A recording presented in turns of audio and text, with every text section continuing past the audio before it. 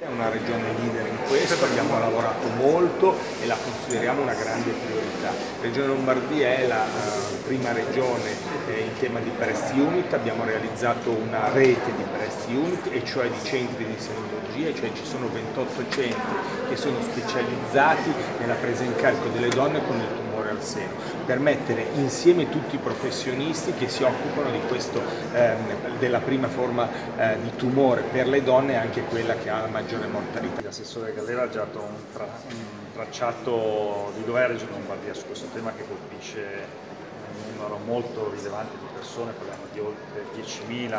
eh, casi eh, che si verificano annualmente.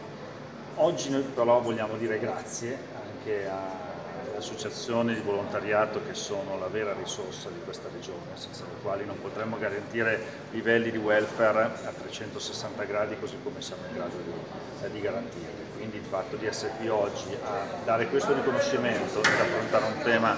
molto importante come, come quello